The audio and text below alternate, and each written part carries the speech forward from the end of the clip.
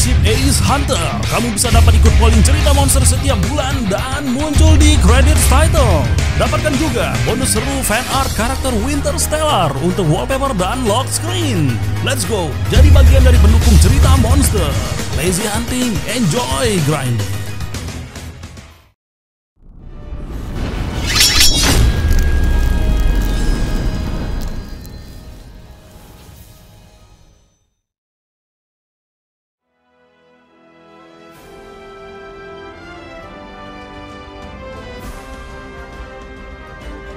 Dunia Monster Hunter Tempat di mana banyak lahan kaya akan energi yang menjadi sumber kehidupan bagi segala makhluk hidup.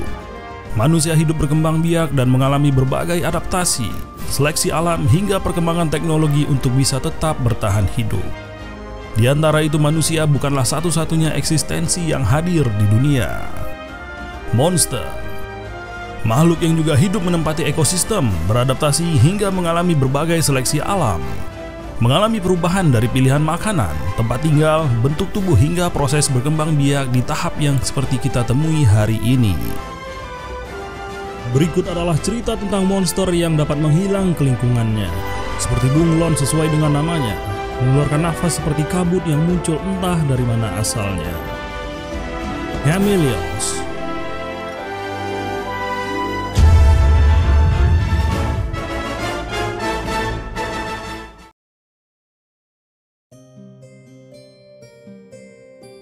Chameleos. Nama Jepangnya adalah Onazuchi. Chameleos memiliki julukan sebagai Kasumi Ryu yang berarti Miss Dragon atau naga kabut. Julukan lainnya adalah Initie no Gen A yang berarti Ancient Phantom atau hantu kuno. Dia juga memiliki julukan lain yaitu Phantom of the Deep yang berarti ilusi hantu dari kedalaman yang sangat jauh. Chameleos adalah Elder Dragon yang memiliki kemampuan untuk menyamarkan dirinya dengan menggunakan arus listrik yang mengalir melalui kulitnya, membiaskan cahaya dalam kabut dan membuat tubuhnya tidak terlihat. Chameleos termasuk dalam Order Elder Dragon, Suborder Unknown, Infraorder Mist Dragon, dari family Chameleos dan spesies Chameleos. Chameleos bukanlah jenis monster teritorial dan sejak zaman dahulu kala memiliki banyak sekali pilihan tempat berkeliaran. Di antaranya adalah Forest and Hills, Jungle Swamp, Town, Tower Tree, Campbell Wetlands, Flooded Forest, Ancestral Steppe, Primal Forest, Everwood, Battle Quarters, Verdant Hills, Marsland, Ruin Pinnacle, Shrine Ruin, Citadel, dan jungle. Elder Dragon unik satu ini memiliki ukuran dengan panjang tubuh maksimal 28,11 meter di generasi terbaru. Camellia sudah muncul sejak generasi kedua Monster Hunter dan masih menemani kita hingga saat ini, yaitu dimulai dari Monster Hunter 2, Monster Hunter Freedom 2, Monster Hunter Freedom Unite, Monster Hunter 4 Ultimate, Monster Hunter Gen, dan Gen Ultimate. Monster Hunter Rise, dan Sunbreak. Kemudian dia juga muncul di seri Frontier, dimulai dari Monster Hunter Frontier, Monster Hunter Frontier season kedua hingga season 10, Monster Hunter Frontier Forward 1 hingga Forward 5, Monster Hunter Frontier G hingga G10, Monster Hunter Frontier Z, Monster Hunter Frontier Z Zenith. Lalu selain itu dia juga muncul di beberapa title spin-off yaitu Monster Hunter Online dan Monster Hunter Explore.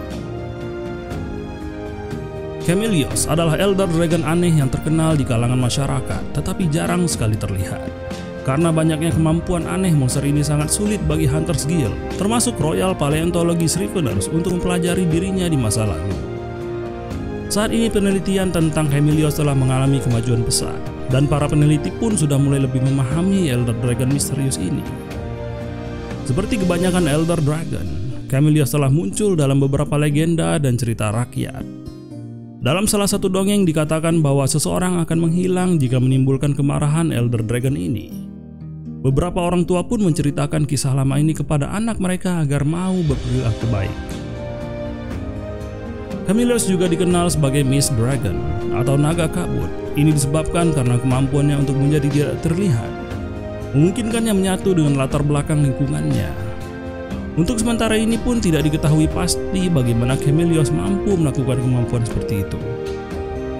Tetapi seorang peneliti berhasil mendapatkan sampel kulit Elder Dragon ini di lapangan dan melakukan beberapa percobaan terhadapnya.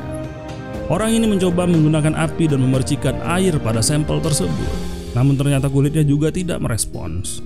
Suatu hari saat mengerjakan hal lain di laboratorium, peneliti secara tidak sengaja menjatuhkan elektrosak atau kantung elektro ke sampel kulit tadi, tetapi ternyata kemudian muncul sebuah reaksi.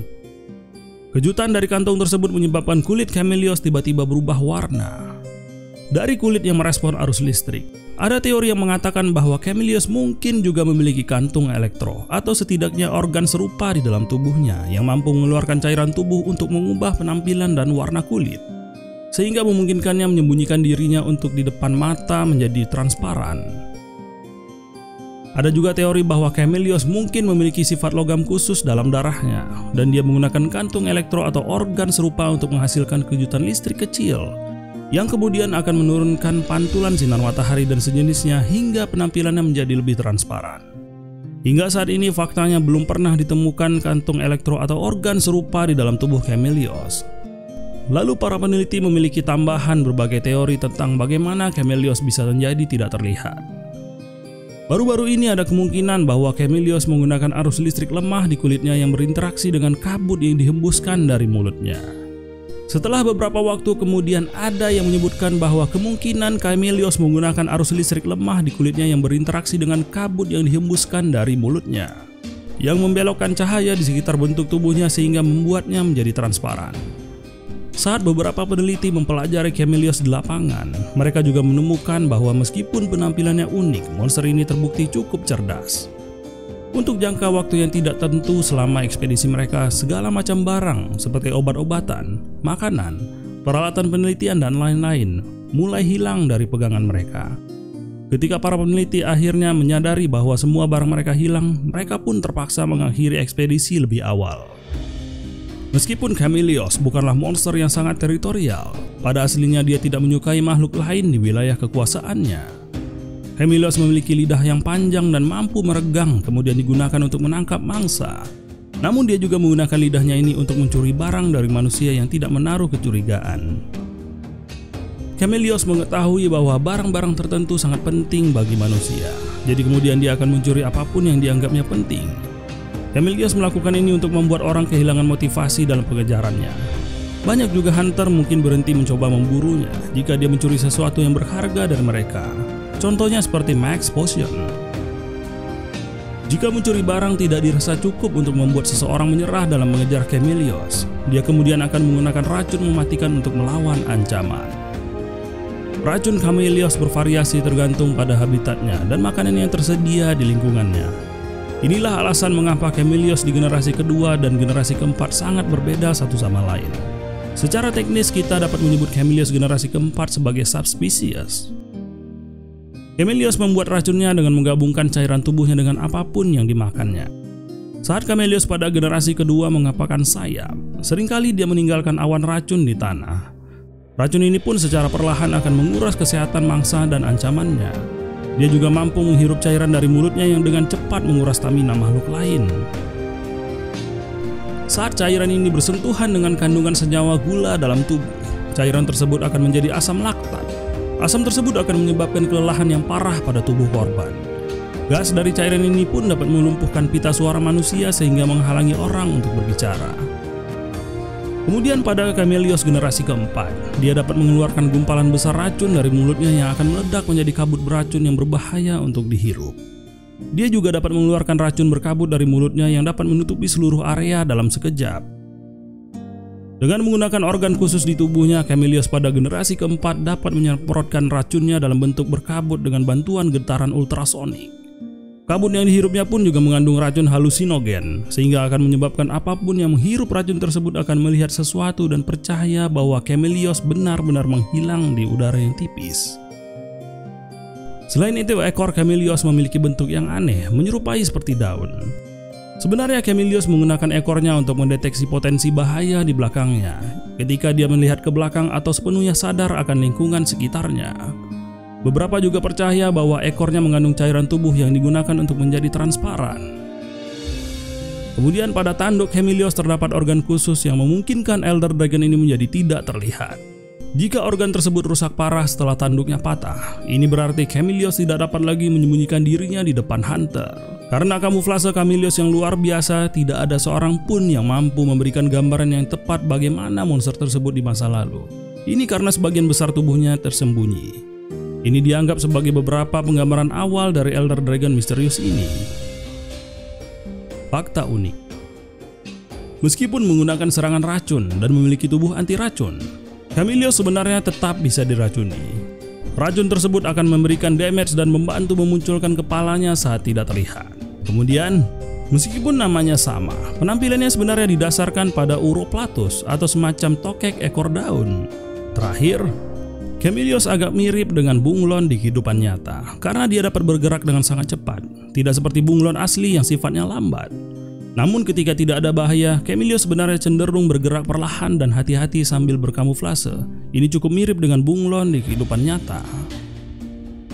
Varian dan subspesies Camilios adalah satu-satunya anggota trio Elder Dragon yang diperkenalkan di Monster Hunter 2 yang tidak memiliki bentuk alternatif.